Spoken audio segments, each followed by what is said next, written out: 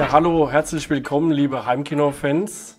Es gab ja in den letzten Wochen, gab es ja hier Diskussionen im Internet über die Zukunft der Laser-TVs. Und da wollen wir auch äh, kurz unsere Sicht dazu schildern. Und dazu habe ich wie immer äh, den Ecki Schmidt eingeladen. Ja. Hallo, liebe Ecki. Guten Tag. Hallo. Ja, das ist ja ein sehr interessantes Thema, was da im Moment in, im Internet diskutiert wird. Ja, Und ähm, muss ja immer irgendwas zum Diskutieren geben. Ne? genau, und äh, wir möchten nat- natürlich unsere Sicht äh, auch dazu abgeben. Und äh, ich habe mir jetzt hier mal ein paar kleine Notizen gemacht, aber eigentlich brauche ich die gar nicht. Äh, das erste, äh, ich möchte jetzt noch mal ganz kurz darauf eingehen, was ist denn äh, zurzeit aus deiner Sicht, was sind denn die Vorteile des Laser-TVs und sind sie immer noch in? Also meines Erachtens ja, also wir verkaufen sehr viele Laser-TVs, deshalb kann ich das gar nicht verstehen und äh, ja, das würde ich jetzt ganz gerne mal von dir hören. Ja, okay, also es geht ja in erster Linie bei Heimkino ja allgemein um die Bildgröße. Ne? Wir machen ja beschäftigen uns seit 20 Jahren mit Heimkino, in erster Linie, um das Bild möglichst groß zu machen, um eben an das Kino-Original heranzukommen. Und die Heimkino-Beamer, die gibt es ja auch schon, also die digitalen, seitdem Beamer wohnzimmertauglich oder überhaupt, äh, das ist ja seit der Digital-Beamer, also seit gut 20, ich würde mal sagen, seit gut 20 Jahren sind sie wirklich ähm, massentauglich, die, die Heimkino-Beamer. Aber Heimkino-Beamer, wir wissen es, haben immer Lichtverlust und so weiter gebraucht. Und ähm, auf der anderen Seite hatten wir immer die Fernseher, die sehr schön äh, ne, Tageslicht, Wohnzimmertauglich sind, aber immer sehr klein sind. Und der Laser-TV war jetzt vor ein paar Jahren ein äh, optimaler, ein optimaler Hybrid eigentlich für all diejenigen, die eben den Aufwand eines Beamers scheuen mit Deckenhalterung und Spezialleinwand und Abdunkeln und und und. Äh, und, den, und denjenigen, die ein großes Bild wollen. Ne? Den kann man ja hier, wir haben ja hier ein super schönes Exemplar, ähm, den stellt man hin, passt einen passenden Screen und dann ist das schon sehr nah von der Funktion an einem Fernseher, auch relativ einfach zu nutzen, tagsüber nutzbar und abends richtig schön großes Bild und äh, Kino-Feeling. Und jetzt, äh, das ist glaube ich jetzt der Grund der Diskussion auch ein bisschen, jetzt werden ja die Fernseher immer größer. Die waren ja vor ein paar Jahren nur 50, 60 Zoll, dann kamen 70, 80 und jetzt sind wir ja bei knapp 100 Zoll. Äh, Das ist praktisch die Einstiegsgröße bei so einem Laser-TV mehr oder weniger. Ähm, Und die Fernseher kommen jetzt aber in diese Bereiche. Und dann kann man natürlich hinterfragen, was, hat dieser Laser-TV noch einen Vorteil? Er hat ja aber den Vorteil des großen Bildes. Oder hat der Laser-TV keine Vorteile mehr, weil jetzt die Fernseher in diese Bereiche kommen? Ja, wir haben Und jetzt ich hier denke schon, dass da einige Vorteile noch sind. Wir haben jetzt hier im Hintergrund äh, haben wir den Hisense 100L5 HD. Für 100 Zoll.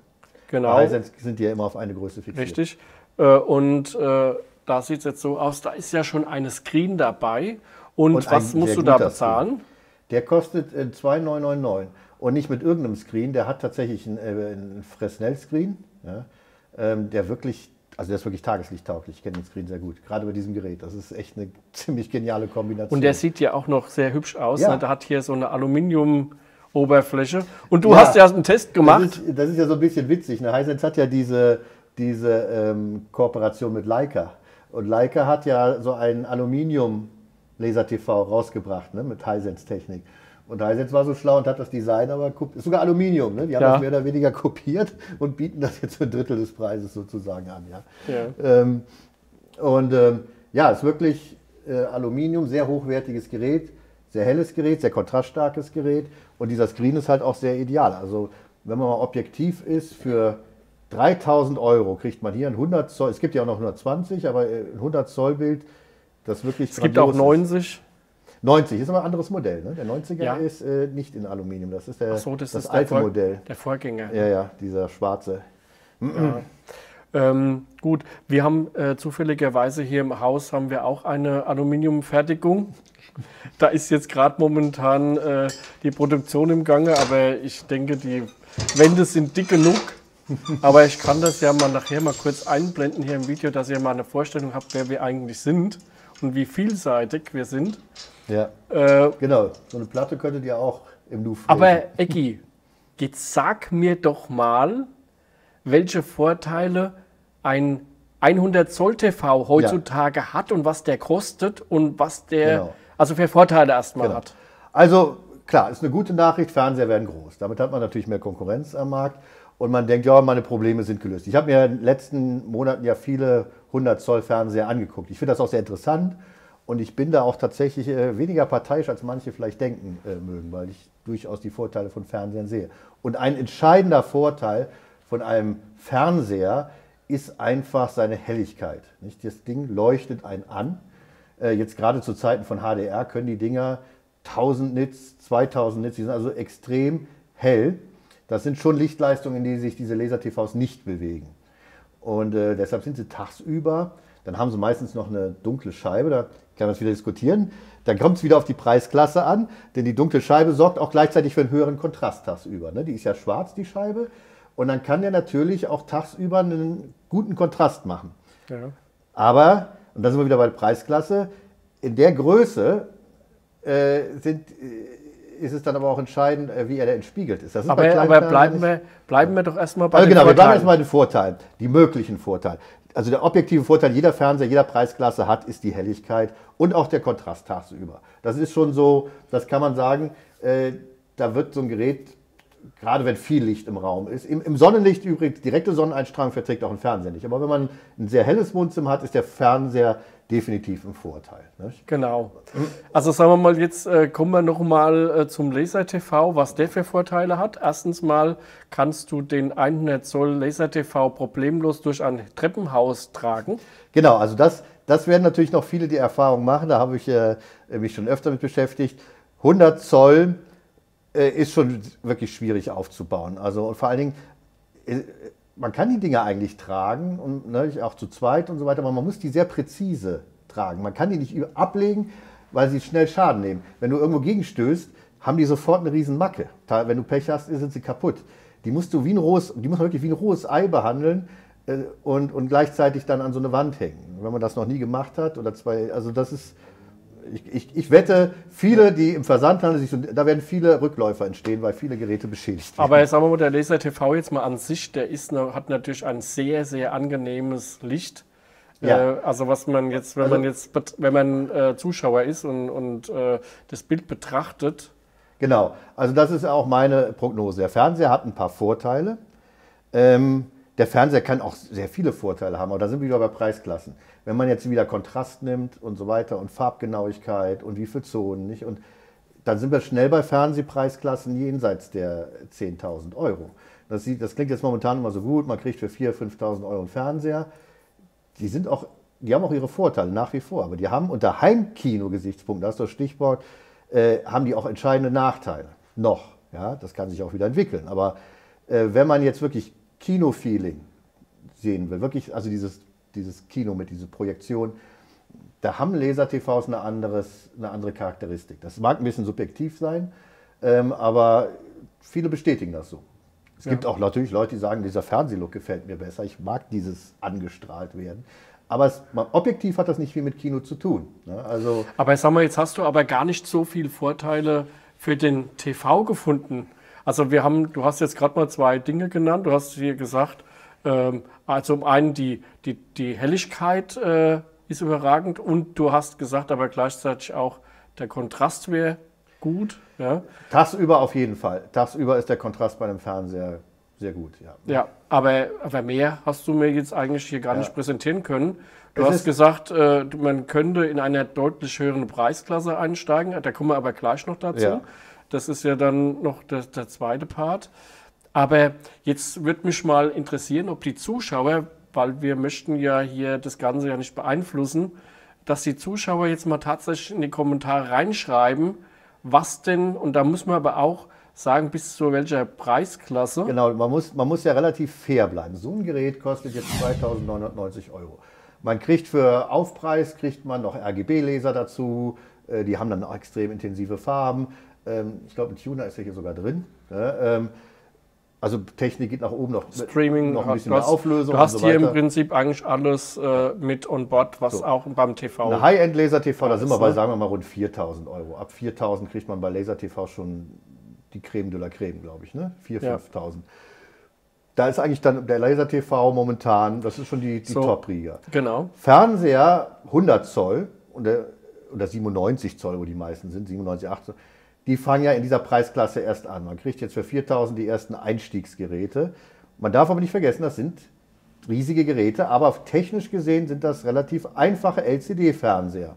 Ne? Und dann geht es Genau. nach oben. So, dann geht es nach oben mit Mini-LED, mit Zonen, mit mehr Helligkeit Gut, und, und, und äh, endet bei OLED. Bremsen wir mal kurz ab, bitte. Ja, ich wollte mal nach Aber, oben. ähm, nach oben gibt es bei, jetzt- jetzt- bei, bei jetzt- Fernsehen Jetzt wollen wir mal für diese Fernseher, die jetzt um die 3000 Genau. Euro Also eigentlich kosten, die Nachteile, jetzt will ich gerade mal der sagen. Preisklasse ja kaum, gut kriegt man vielleicht inzwischen die Auslaufmodelle, für 3000 Euro kriegt man ja eigentlich keinen wirklichen Also 100 erstmal muss man, muss man dazu sagen, dass ein Fernseher, der in der 3000 Euro Klasse ist oder vielleicht auch ein paar Steine mehr, der ist dann komplett aus äh, recycelten äh, Joghurtbechern gebaut. ja? Also das, das merkt man auch schon, weil was nützt mir die Mordshelligkeit ja? und der tolle Kontrast, wenn der, wenn der Fernseher nicht entspiegelt ist. Also wenn ich davon eigentlich wenig mitbekomme. Das hängt ein bisschen von der Konstellation ab. Wenn man den geschickt positioniert, äh, dann mag das kein Problem sein. Wenn man, wenn man Licht im Rücken hat, ist es wirklich ein Problem. Ich weiß, das kenne ich aus den Kommentaren, da schreiben viele, nö, ist kein Problem. Das mag sein bei euch. Aber ich, also ich habe die schon Fernseher wirklich in vielen Szenarien. Vielleicht ist es auch ein bisschen Empfindlichkeit. Ich, äh, ich reagiere zum Beispiel persönlich wirklich allergisch darauf. Ich sehe alles immer in diesen Dingen, also ich, gerade bei dunklen Bildern. Hast- Also man muss jetzt auch mal dazu sagen, wenn man pixelgenau steuern will, das Bild pixelgenau steuern will, dann äh, muss ich das ja ähm, irgendwie auch, äh, sagen wir mal, ähm, auch in, in, in real äh, so steuern können. Das heißt, äh, bei einem Fernseher ich, ist es ja aufgeteilt in Zonen. Was weiß ich? LCD-Fernsehern. das war mal, das war mal äh, äh, 256. Mittlerweile, da ist man vielleicht bei 1000. Ich weiß nicht, was die günstigen 100, Fernseher die, können. also tatsächlich, äh, äh, es, die, es gibt da ja jetzt ein paar Hersteller, die sich auf sehr günstige Fernseher, die haben jetzt ihre neue Modellreihe. Ähm, da bekommt man äh, einen 100 Zoll Fernseher mit ab, der, die Einstiegsmodelle haben 1200 Zonen. Klingt viel, ist bei 100 Zoll aber natürlich Ja, das muss man ja mit wieder eine 4, relativ große Zone. 4K geteilt durch die Zonen, also die Ja, du musst Auflösung die der 4K, die Bildfläche Summe. nehmen. Ne? Du hast ja über 2 Meter, bei 100 Zoll hast du ja 2,20 Meter Bildbreite. Ja, 1200 Zonen, das sind 40 mal 30 Zonen. genau. Das ist jetzt, wenn man 40 mal 30 hört, klingt das schon nicht mehr so viel. Das heißt, man hat auf 2,20 Meter ungefähr 40 Zonen. Ja, äh, dann ist so eine Zone ja doch wieder sehr groß. Das heißt, man hat wirklich schon wieder recht große Felder. Ne? Das sind Glasbausteine. Das sind kleine Ja, so kleine, genau. Und das ist halt der Bereich, der gedimmt wird. Habe hab ich das bei einem Beamer auch? Nein, ein Beamer kann ja lokal nicht dimmen. Das ist ja jetzt auch ein Nachteil von einem Beamer. Also es gibt ja diese Dolby Vision Beamer, die können anscheinend lokal äh, dimmen, aber Heimkino Beamer kann lokal nicht dimmen. Der hat immer denselben Schwarzwert für das gesamte Bild. Das ist praktisch wie, wie ein normales Background bei einem LCD-Fernseher. Dadurch sind die Laser-TVs im Schwarzwert etwas limitiert. Die arbeiten mit ihrem hohen nativen Kontrast. Er hat zum Beispiel einen hohen nativen Kontrast von über 3000 zu 1. Das ist sehr gut. Also das Ja. erzeugt schon sehr guten Schwarzwert. Und ähm, auch einen hohen Inbildkontrast. Die arbeiten so in dieser Hinsicht ein bisschen ehrlicher. ne? Die dimmen vielleicht Ja. insgesamt, aber nicht zonenbasierend. Jetzt äh, abgesehen davon, wenn, wenn ich jetzt ein Haus habe, ne, äh, wo ich die Möglichkeiten habe, auch einen relativ großen Fernseher problemlos von A nach B, was weiß ich, bis in den dritten Stock zu transportieren. Äh, welcher Fernseher oder was muss ich denn da investieren, um das alles hier in die Tasche zu stecken? Ja, also wenn man, was heißt in die Tasche zu stecken? Die Geräte haben halt ihre individuellen Vor- und Nachteile für Kino, für, für tagsüber. Wenn man jetzt wirklich anspruchsvolles Heimkino will, also wirklich mit Filmen, guter Kontrast, wenig Nebeneffekte, kein Bildpumpen, äh, also auch bei einem Fernseher, das kriegt man für 5.000, 6.000 Euro nicht. Kriegt man, ich habe mir den Samsung angeguckt, der, den Hisense angeguckt, die TCLs angeguckt, man kriegt keinen Fernseher, der, der nicht pumpt, der, der, der nicht irgendwo doch wieder so Helos hat und so weiter. Wenn man das alles nicht will, also wirklich perfekte Qualität, dann sind wir bei einem Fernseher bei 100 Zoll definitiv im fünfstelligen Bereich. Und zwar deutlich im fünfstelligen Bereich. Also der Fernseher, den ich am besten, am, am, am hochwertigsten bisher gesehen habe, war der OLED von LG, ein, ein, knapp 100 Zöller, äh, High-End, wie heißt der, ich weiß gar nicht, 97M irgendwas. der kostet UVP 35.000 Euro. Der hat natürlich noch so ein paar Lifestyle-Features, Funk, schöne Ständer, Aluminium und so weiter.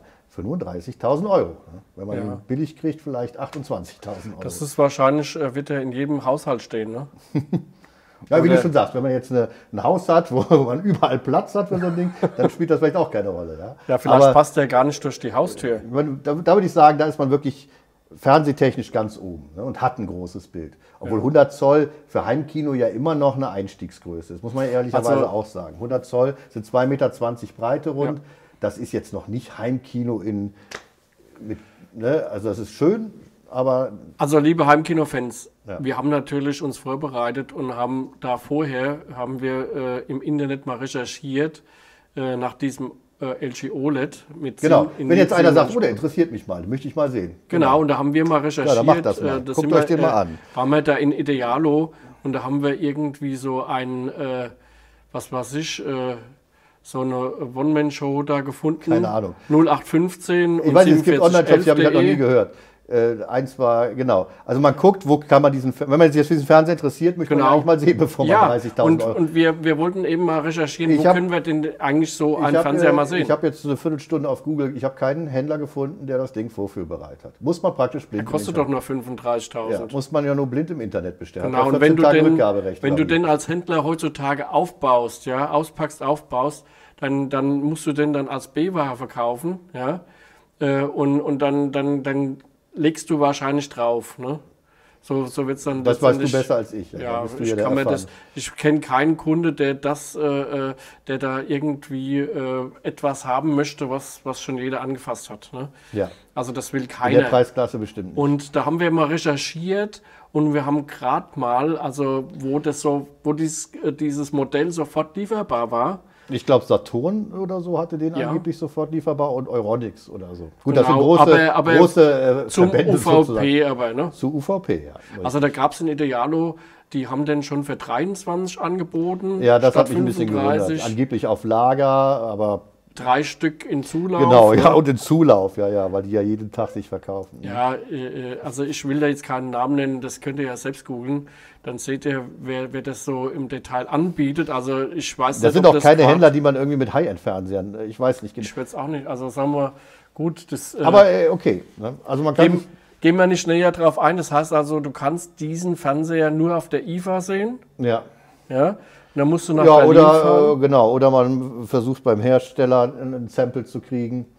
Ähm, ja, das war's. Ja, also- kann, das ist recht schwierig. Dazu natürlich. kann ich sagen, also es gibt hier einige ausgelesene Händler in Deutschland, die haben sich natürlich spezialisiert und die haben fast alles lagermäßig und auch in der Ausstellung. Also wir haben zum Beispiel hier ganz viele Hisense-Geräte, wir haben BenQ, wir haben äh, Avol Vision, äh, äh, was weiß ich, äh, LG, den HU915 QE, das ist der eines der hellsten. Aber jeder hat seine Vor- und Nachteile und das Genau. muss man ganz einfach Also, sehen. Es ist halt auch ein bisschen Anwendung. Es gibt bestimmt den, den User, der mit dem Fernseher, auch mit einem Einstiegsfernseher besser zurechtkommt. Will man gar nicht in Abrede stellen.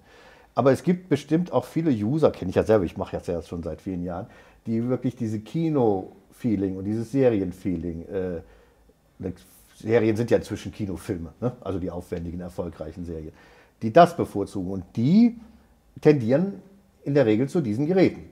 Wenn sie nicht auf einen Heimkino-Beamer gehen. Und da sind wir natürlich beim jedem Punkt. Was hat man denn nicht für, die, für, die, für, für eine Wahl? Ne? Laser-TV, Fernseher oder Beamer. Und die Laser-TVs waren ja gerade so schön, weil sie das Kino-Feeling Leuten näher bringen, die sich so einen Beamer im Wohnzimmer nicht installieren können oder wollen. ne? Ja.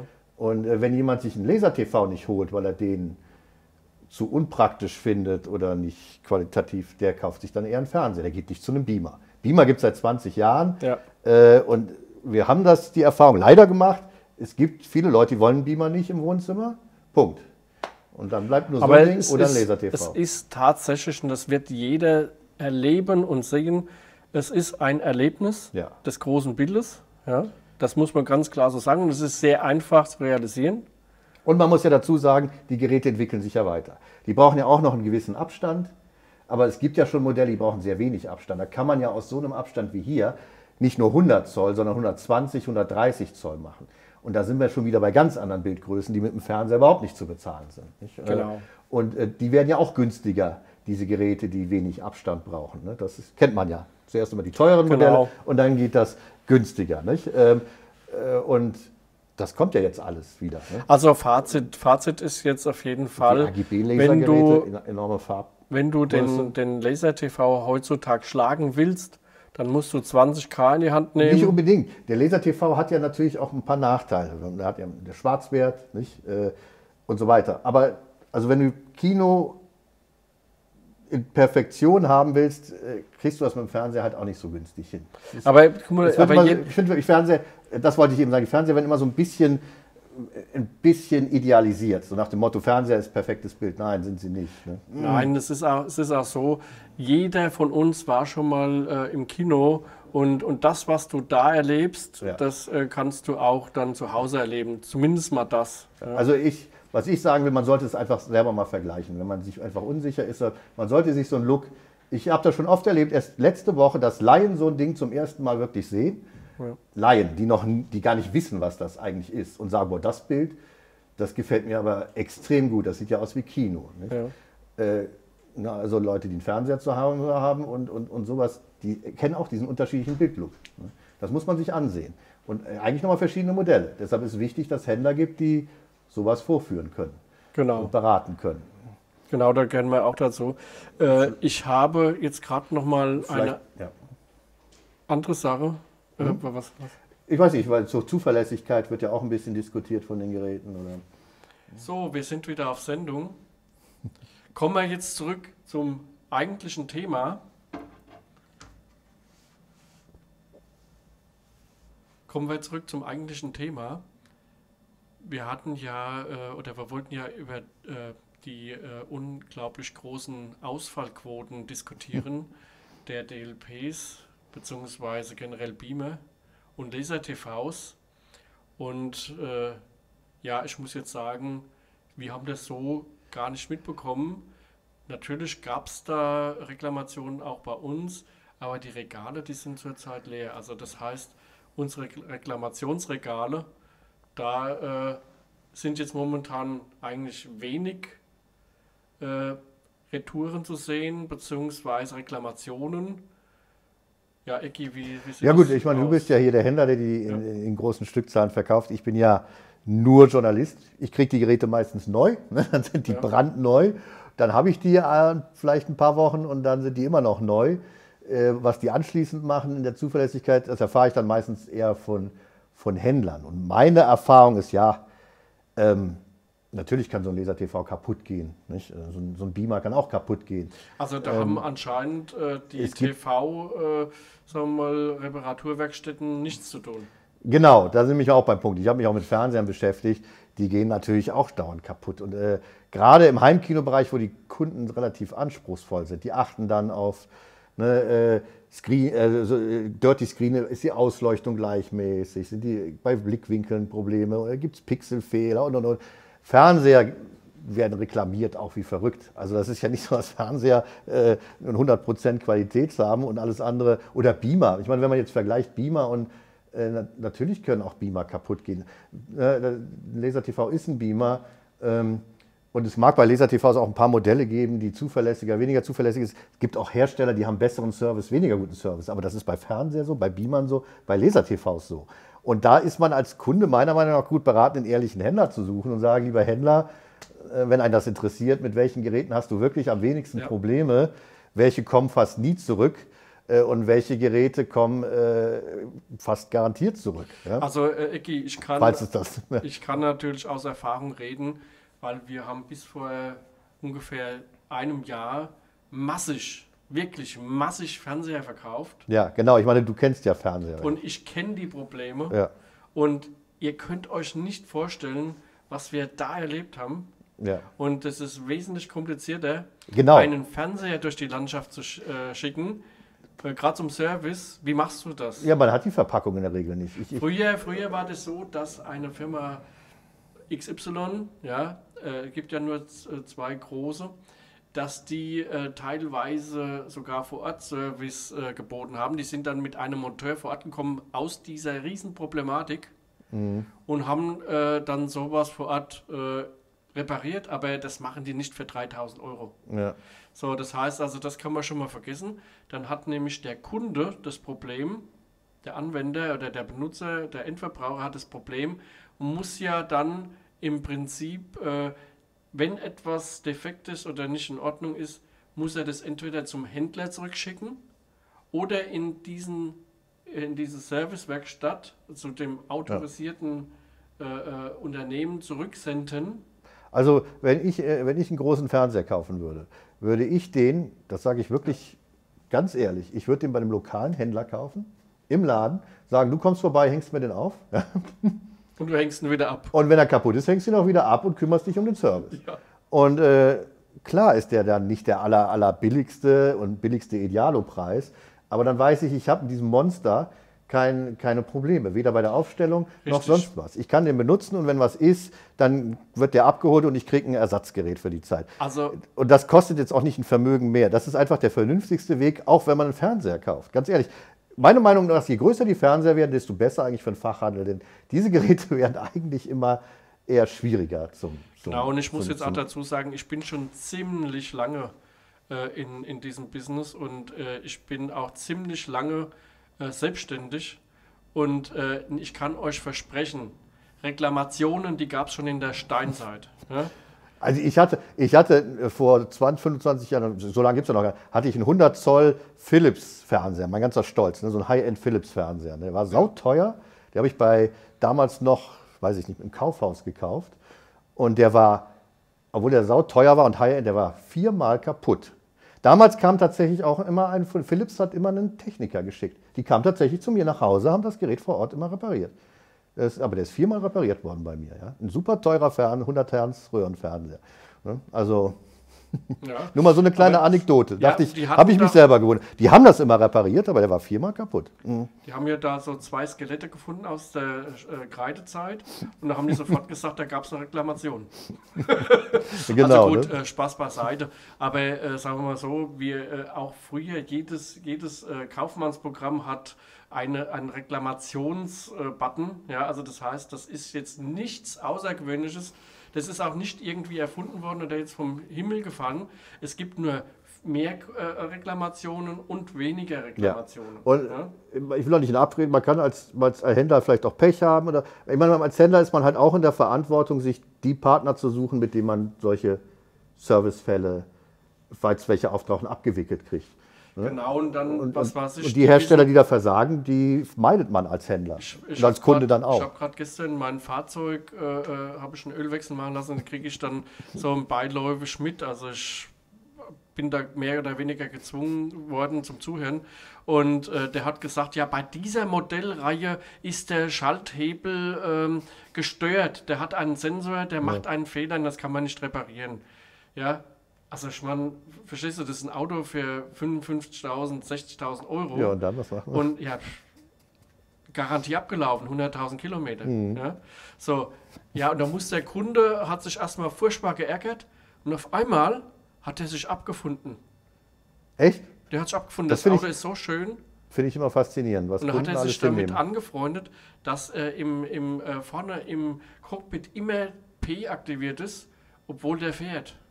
Ah, muss er die LED ausbauen. Du musst ja. dir mal vorstellen, der hat das Gefühl, dass der im P ist, also im Parking-Modus und fährt trotzdem Auto. Ja? Musst du dir mal vorstellen.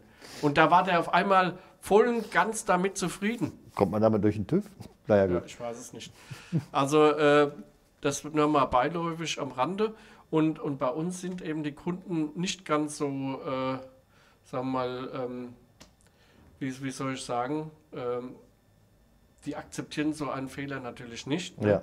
Wenn dann großer Kratzer irgendwo drauf ist oder irgendwas, sowas will man einfach nicht haben. Und das kann ich euch aber versprechen, es kann mal sein, ja, dass eine Charge, also sagen wir, wir, wir haben jetzt hier äh, diese DLP-Chips drin, die, die massig verbaut werden. Genau, man muss ja eigentlich sagen, eigentlich sind diese Geräte ja verwandt. Das ist ein DLP, fast alle, bis auf die Epson äh, und die ganz, diese High-End-Sony. Du hast ja hier auch einstellen. Sind, sind, Nimm den mal. Äh, auch der DLP. hat auch DLP. das sind ja alles DLP-Projektoren. DLP-Projektoren gibt es seit, also konsumermäßig, glaube ich, seit 30 Jahren jetzt fast. Also ja. zumindest seit 25 Jahren. Und diese DLPs, da ist ja Texas Instruments auch stolz drauf, Das ist mit die zuverlässigste, langlebigste äh, Projektionstechnik, die es überhaupt gibt. Es gibt DLP-Projektoren, die hängen Kneipen seit 10, 15 Jahren, die sind vielleicht komplett voller Nikotin und alles, aber die funktionieren. Ja. Also das ist tatsächlich äh, auch im Vergleich zu, zur LCD eine sehr, sehr zuverlässige Technologie. Bei Fernsehen haben wir LCD. Äh, das ist auch nicht die, die, ne, die zuverlässigste. Bei OLED haben wir ja. nach wie vor Einbrennprobleme und und und.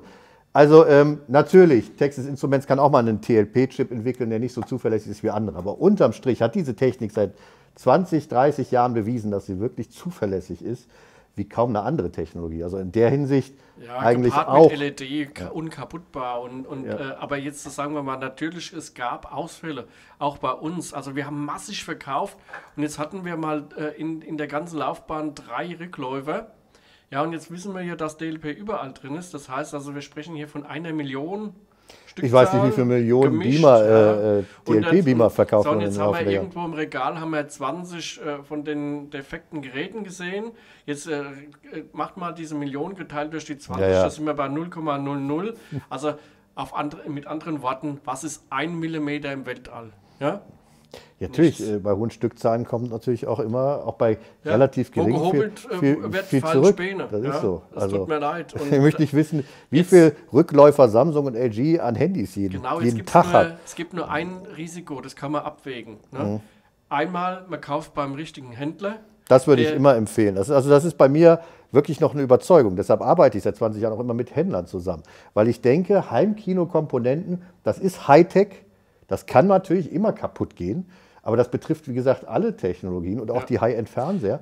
Und da braucht man einen zuverlässigen äh, Partner. Genau, das sage ich so viel dazu. Das nennt man DOA. Da wird ein DOA-Fall eröffnet. Ja. Das heißt Dead on Arrival. Ja, das ist, das, das ist der unglücklichste Fall, wenn es kaputt ankommt. Ja. Aber da wird es ganz unkompliziert gemacht. Es wird einfach gegen neu ausgetauscht. Ja. Keine Diskussion.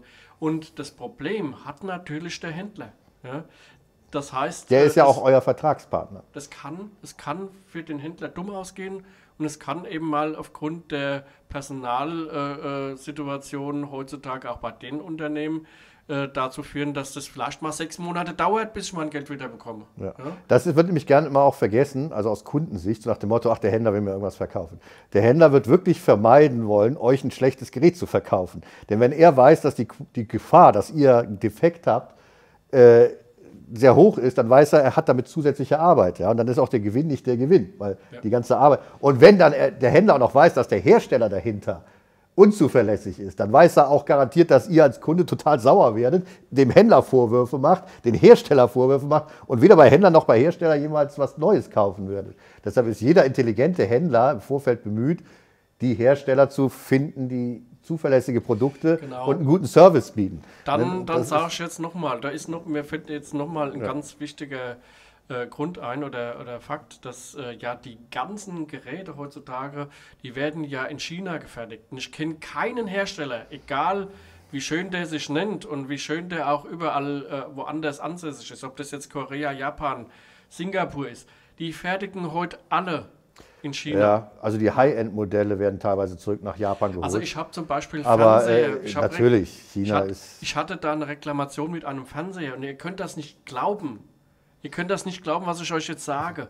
Ich habe das auf dem Bild gesehen, da hat äh, ein Kunde reklamiert, dass hinten dort, wo die Aufhängung ist, also die VESA-Verbindung, da gibt es ja ein Gewinde. Mhm. Und da konntest du nicht reinschrauben, weil da ein Kabel gelaufen ist. Also das heißt, Schön. da haben die anscheinend, ja, ich weiß nicht, was das, was das für ein, das ob das ein Stromkabel war. Ne? Und, und auf jeden Fall war das sichtbar. Und das kann passieren. Also es ist für mich zwar, es ist auch für den Hersteller nicht nachzuvollziehen gewesen, was da passiert ist. Ich hatte schon Fernseher im Test, die, äh, da war der Rahmen nicht richtig verklebt. Da sahst du die ganze LED-Beleuchtung, wenn du schräg, das sah aus wie so eine Kirmesbeleuchtung, weil die so einen Abstand ja. hat. Also das Brandneue Geräte. Und es wird aber nicht passieren, dass ihr hier irgendwann, man steht es mir bei alten Häusern, wenn sie von, auf der Außenwand äh, äh, Kabel verlegen. Also das wird man hier jetzt nicht finden bei uns. Ne? nee, also da kann ich jetzt schon mal Entwarnung geben. Aber, ähm, Eki, kommen wir jetzt vielleicht nochmal zu einem ganz anderen Thema. Ja. Äh, das wollte ich hier nochmal ansprechen. Und zwar äh, ist es ja so, ähm, es gibt ja HDR, HDR10, es gibt Dolby Vision und äh, was weiß ich noch, Dolby. Ja? Mhm. So, und jetzt ist es ja so, dass äh, ja die ganzen modernen Kinofilme, ja, die äh, haben ja gewisse, äh, was weiß ich, ähm, Kontrastwerte, die haben äh, gewisse Helligkeiten und aber die Ausgabegeräte, ja. egal ob jetzt TV, OLED oder auch hier Beamer, die können zum Teil diese Helligkeit gar nicht erreichen. Äh, zum Beispiel werden die äh, gemastert also, mit 1000 Nits, mit 2000 Nits, mit 3000 und Dolby Vision will sogar mit 10.000 Nits ja. hier an den Start gehen. Und das können doch die Beamer gar nicht. Und jetzt frage ich dich mal, was ist denn da äh, jetzt wichtig? Auf was soll ich achten? Da sind, da sind wir vielleicht wieder bei dem Vorteil von einem, von einem Fernseher. Ne? Ein Fernseher, auch die günstigen Fernseher, die günstigen 100 äh, Zoll oder 98 Zoll Fernseher, die sind sehr hell. 1000 Nits, 1200 Nits schaffen die. Ne? Das sind ja meistens LCD-basierende Geräte. Das heißt, die haben diese Helligkeit, die eigentlich, 1000 Nits ist ja eigentlich so die Grundkonfiguration für HDR. Eigentlich ist es auch mehr als ausreichend, weil das wirklich schon hell ist. Da hat eigentlich ein Fernseher einen Vorteil, weil er diese Helligkeit hat, die die Norm hat, die HDR-Norm, und er muss nicht so viel anpassen. Ein Beamer, sei es so einer oder ein Laser-TV, hat diese Helligkeit nicht, je nach Screen. Es gibt natürlich Screens, die erhalten viel Helligkeit, gibt aber auch Screens, die kosten Helligkeit. Real sind wir so 500, 600 Nits mit den Laser-TVs. Bei helleren kann man auch mehr schaffen, wenn man jetzt nicht so ein High-End-Modell kauft. Aber sagen wir mal, 500, 600 Nits ist so realistische äh, Leuchtdichte bei einem. Das ist weniger als die HDR-Norm und damit das Bild nicht allgemein zu dunkel wird, muss der äh, Laser-TV nachregeln. Also entweder muss man den geschickt einstellen oder der Laser-TV muss nachregeln. Und dann gibt es verschiedene Möglichkeiten. Da gibt es einerseits, äh, das bekannteste ist, glaube ich, Dolby Vision. Ne? Dolby Vision hat sich dieses Problems angenommen, aus einem einfachen Grund. Im Kino hat man dasselbe Problem. Kino, ne, HDR ist ein Standard, den kann man im Kino überhaupt nicht abbilden. Es gibt keinen Projektor, auch nicht der teuerste Laserprojektor der Welt, der dir 1000 Nits bei einem 40 Meter breiten oder 20 Meter breiten Screen auf die. Geht nicht. Ne? Geht, Geht, auch übrigens bei Dolby Vision Kinos nicht. Mhm. Ne? Das heißt, Dolby hat sich dir als erster Gedanken gemacht, wie kriegen wir HDR-Effekte im Kino hin äh, und sind auf das. Äh, äh, einerseits haben sie extra Projektoren entwickeln lassen, ne, um, um mehr Helligkeit. Sind aber auf diese Thematik gekommen, dass es eine dynamische Anpassung eine sehr sinnvolle Geschichte ist, um eben äh, das Material auf das Ausgabegerät zu optimieren. Und ähm, Nachteil der Geschichte, der Film muss mit Dolby Vision gemastert sein. Da müssen diese ganzen Metadaten hinterlegt sein, damit der Prozessor, der dann wiederum in dem Fernseher, in dem Laser-TV oder im Beamer steckt, äh, das anpassen kann, damit in Echtzeit die Belichtung, am einfachsten ist formuliert, die Belichtung muss für jedes Bild angepasst werden. Und das macht dieser Dolby Vision Prozessor möglichst vollautomatisch. Da gibt es auch die Public Domain Variante HDR10 Plus. Da verdient dann Dolby nicht dran, ist mehr oder weniger das gleiche, muss aber auch entsprechend gemastert werden. Und dann äh, gibt es die findigen Hersteller, die sagen, wir machen unsere eigenen Algorithmen. Also da brauchen wir auch gar keine gemasterten, das geht mit jedem Material, das HDR dann ist. Nicht? Der, der Fernseher kennt seine Leistungsdaten oder das Ausgabegerät und der kann ja auch in Echtzeit die Pegel analysieren. Und da gibt es ja Hersteller, die da sich sehr hinterklemmen im Heimkinobereich. Äh, bei allen Produktkategorien, bei Beaman, Sony und JVC, bei äh, Laser-TVs ähm, äh, LG und äh, BenQ und bei Fernsehern, Sony, da sind fast alle dran arbeiten, Sony, Samsung, LG und so weiter. Die arbeiten inzwischen auch sozusagen mit ihrer eigenen Intelligenz, um HDR anzupassen. Aber da sind wir auch einmal beim Thema. Diese Geräte sind eigentlich an dem Kino, an dieser Kino-Charakteristik näher dran und brauchen deshalb eigentlich auch eine Anpassung. Mehr als vielleicht ein Fernseher. Hm? Also ich muss aber auch dazu sagen, du warst ja äh, bei einer unserer letzten äh, Sessions, wo wir hier gemacht haben, da haben wir uns äh, da mit diesem Dolby Vision und Rec 2020 ausgiebig äh, beschäftigt. Mhm. Und da haben wir praktisch, äh, und ich habe da auch nochmal hinterher recherchiert, ob das tatsächlich so ist. Und äh, da haben wir, wenn wir umgeschaltet haben auf Dolby Vision, hat sich der Farbraum gesenkt von Rec 2020 auf Rec 709. Mhm. Das heißt, der hat den reduziert, obwohl der hier 18 Bit hat. Also äh, das, das hängt immer vom Ausgangsmaterial. Wenn das Ausgangsmaterial DCI P3 hat, dann sollte er das möglichst nicht tun. Dann ist es ein Fehler. Du, aber das war, ist nicht das Problem von Dolby Vision. Das ist das Problem. Also wir hatten, ich weiß nicht, ob das jetzt Netflix war oder oder äh, Ja, also äh, das kann, also das ist immer noch, das obliegt immer noch demjenigen, der das sendet. Also wenn dem zum Beispiel, wenn der sagt, meine Kanäle geben das nicht her, wir müssen jetzt reduzieren, weil wir zu viel Metadaten noch mitschicken müssen. äh, ja, also da sind wir auch wieder beim Thema. Das, das klingt in der Theorie alles so gut. Die Praxis sieht immer noch ein bisschen anders aus. Weil, weil genau in der Es Praxis gibt hat's Netflix, es gibt Amazon Prime, es gibt die Blu-ray. Die Blu-ray ist vielleicht immer noch das Medium, das zuverlässigste in dieser Sicht. Das ist auch das umständlichste. Aber ähm, logisch, die haben Datenrate äh, ne, und ähm, alles Mögliche an Faktoren, die sie berücksichtigen. Und das kann schon sein, dass hier und da ein Es kann sein, dass du bisschen kastriert wird, äh, was gar nicht oder, sein oder sollte. du brauchst eben Glasfaser, ne? Es kann auch einfach fehlerhaft äh, programmierte Apps geben. Ja. Ja, also die App funktioniert einfach nicht richtig. Das sind alles Probleme. Deshalb gibt es ja alle fünf Minuten Updates heutzutage. Mir geht das persönlich ziemlich auf die Nerven. Genau, aber ich denke mal ganz einfach, dass die Performance da nicht ausgereicht hat. Das kann Weil auch ein Grund haben. 2020, das Also das ist ja mal ein eigenes schon, Thema für ein Video, müssten wir mal recherchieren. Ja. Genau, das sollten wir machen, aber ich habe äh, nämlich äh, äh, recherchiert und also jetzt äh, nur ne, theoretisch, theoretisch und äh, habe gesehen, dass es sehr wohl Rec 2020 bei Dolby Vision unterstützt wird. Natürlich. Ja, Ja. Und, und sogar bis 10.000 Nits. Ja, ja, Dolby geht ja noch einen. Schritt weiter und das auch noch bei 10 Bit. Also ich Äh, meine, die, die, da sollte man eigentlich die Kirche im Dorf lassen. Da Aber sind wir die haben übrigens da auch wahrscheinlich für die Zukunft meine, wir wollen ja jetzt nicht endlos diskutieren. 10 Bit muss ein Display erstmal darstellen können. Können viele, können Also gar ein nicht. OLED kann das auf keinen Fall. Genau, OLED, die sind bei, von 10 Bit, 10 Bit sind auch extrem feine Abstufungen, äh, muss man das haben, oder 12 Bit, ich weiß gar nicht. Äh, da, das ist natürlich auch ein bisschen Marketing. Klar, 10.000 Nits mit 12 Bit klingt toll, äh, braucht man es. 10.000 Nits ist verdammt hell. Ich kenne schon den Trend mittlerweile, ich merke das bei, ich tausche mich viel mit Konsumern aus, denen ist HDR zu hell. Ja. Das, HDR wurde ja als heiliger Gral wie, wie, wie außen, wie, äh, wie, wie die Realität. Das ist vielleicht zu hell. Warte mal, wir müssen mal kurz eine Pause Da machen. ruft jemand an. Hoffentlich kein Notfall. Die Polizei. ja, Google. Google ruft an. Google aus Hamburg. Wir haben überzogen. Gegendarstellung. Ja, wir sollen das sofort unterlassen. Ich wollte sagen, nicht umsonst gibt es inzwischen HDR Tag- und Nachtmodus. Ne? Ja, warum? Weil die Hersteller Nee, gemerkt also haben, eben hat die sich Leute tatsächlich Google gemeldet, die haben gesagt, wir haben sehr wohl Rec 2020 kriegen, genau. mit Dolby Vision. Wir haben genug Datenbreit, Datenbandbreite.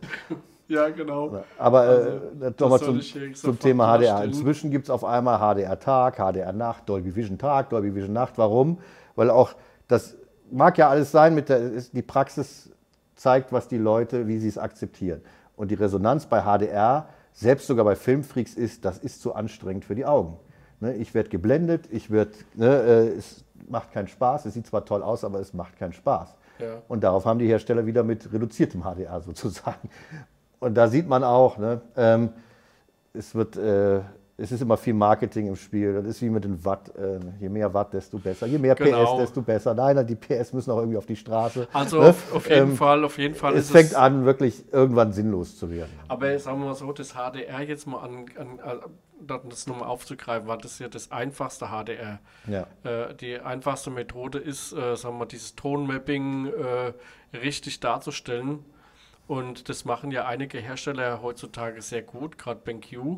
Ja, also hier tr- trennt sich langsam die Spreu vom Weizen. Ne? Die, die, die Beamer sind technisch teilweise ähnlich, aber äh, in der Software steckt oft das Know-how, gerade bei HDR. Nicht? Das, das, äh, bei den High-End-Beamern hat man Ja. das gut gesehen in den Anfängen. Ne? Äh, Sony mit den dynamischen HDR, dann JVC, die das immer weiter optimiert haben, dann diese externen Prozessoren.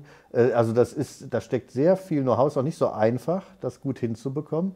Und die Hersteller haben nur so einen kleinen Wettkampf. Es ist auch so, dass, sehr gut äh, kommen wir nochmal zu den, äh, sagen wir, günstigen Fernsehern. Ja. Was glaubt ihr denn, was da für Prozessoren drin sind?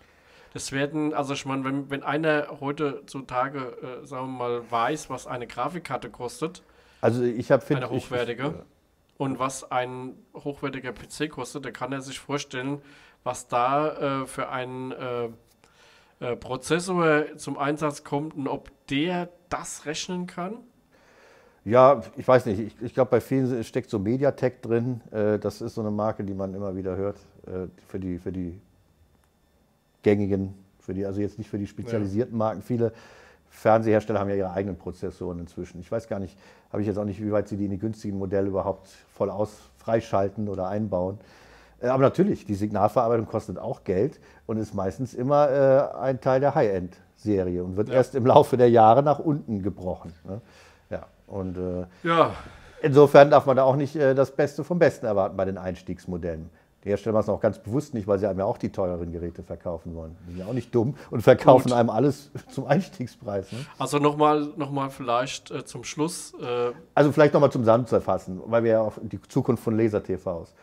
Meiner Meinung nach ist es wirklich eine Prioritätensetzung. Ja. Was möchte man? Möchte man wirklich Kino pur, dann ist man vielleicht mit dem Frontbeamer am besten bedient. Aber den Aufwand scheuen viele wollen den einfach nicht im Wohnzimmer. Kann ich verstehen. Ich habe auch ein Wohnzimmer, könnte ich keinen Beamer installieren. Ne? Ja. Ich habe einen extra Kinoraum. Will aber auch nicht jeder. Will nicht jeder unbedingt in den Kinoraum gehen, um Filme zu gucken. Gut, ich meine, du kannst natürlich aber auch ein, ein Möbel äh, da hinstellen genau. und dann geht Will man wirklich ja. tagsüber Fernsehen, ja, ist ein Fernseher am besten. Will man aber vielleicht wirklich so die Kombination aus Fernsehtauglichkeit und wirklich Projektionsfeeling, Kinofeeling, dann ist und bleibt der Laser TV eine super, äh, ein super Hybrid aus dieser Geschichte. Und das ist auch in ein, zwei, drei, vier, fünf Jahren. Selbst mit dem High-End, ne, also dieser OLED-Fernseher, den ich erwähnt habe für, von LG, der hat ein mega Bild. Aber auch das ist nicht unbedingt ein Kinobild. Nicht? Also es, es wirkt halt anders, ein Fernsehbild. Ne?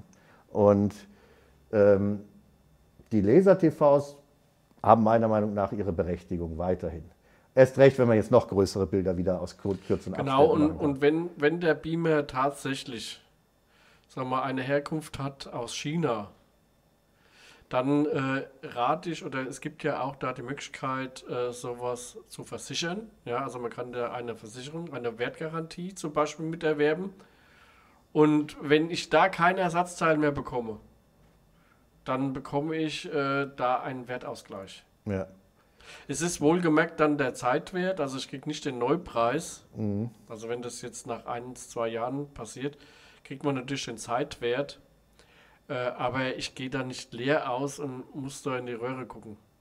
Das ist äh, in diesen höheren Preisklassen ja auch prozentual zum Kaufpreis gar nicht so hoch. Ne? Ich weiß es gar nicht. Gibt's eigentlich, ist das gedeckelt? Nee, das, ja, genau, das geht äh, nach Umsatz, also nach Kaufpreis. Ja. Und äh, ja, sagen wir mal so, das, der, der Preis das, das geht von, äh, also man kann wählen zwischen drei und fünf Jahren. Ja. Und äh, ich will jetzt nicht lügen, aber ich denke, das kann man bei uns auf der Webseite, gibt es einen Konfigurator beim, direkt beim äh, Artikel, beim Produkt. Und äh, ich glaube, bei 1500 Euro sind es 139 Euro mhm. inklusive Steuer. Mhm. Ne? Äh, also das heißt, äh, es kann sein, dass es dann, in, äh, wenn man fünf Jahre wählt, dann vielleicht äh, 20, äh, 30 Euro mehr mhm. sind.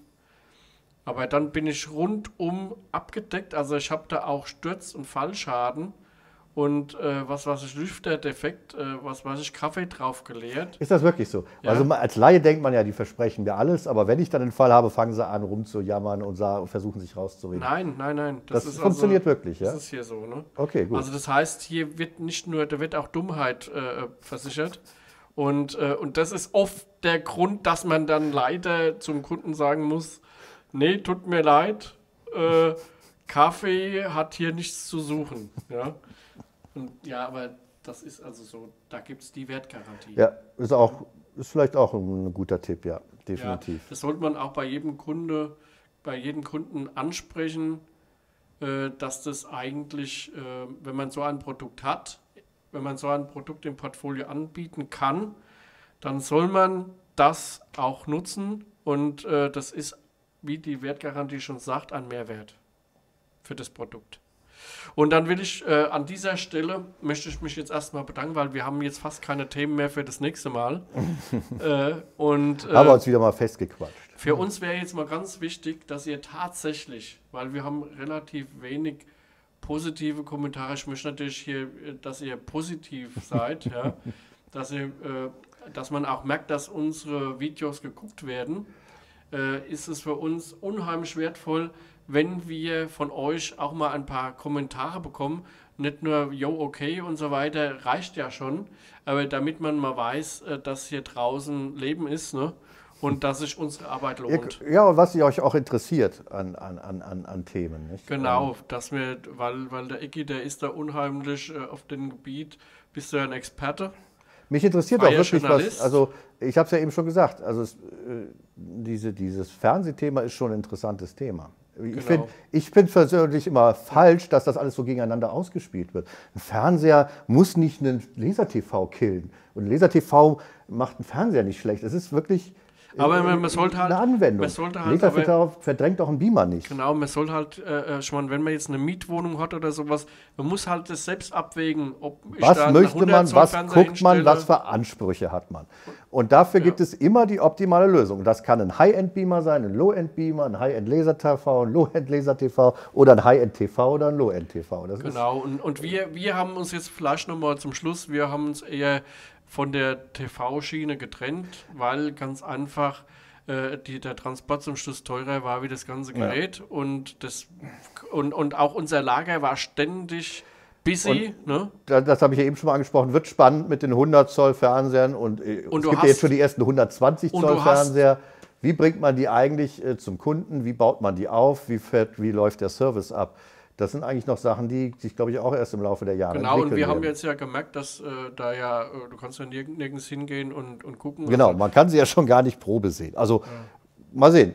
Da, äh, vielleicht, äh, vielleicht wird der Fachhandel da, äh, gerade da bei den großen Fernsehern, äh, da werden wir jetzt äh, tausend Kommentare kriegen, bestimmt, äh, die dann doch sagen, ja, hier kannst du es gucken oder hier kannst du ihn erleben. Ja gut, das ist, da, vielleicht sollte man mal ein Verzeichnis anlegen. genau. Ja, aber nicht bei uns. wir verkaufen Beamer. also, dann äh, vielen Dank und äh, wir sehen uns dann im nächsten Video. Tschüss. Tschüss. So.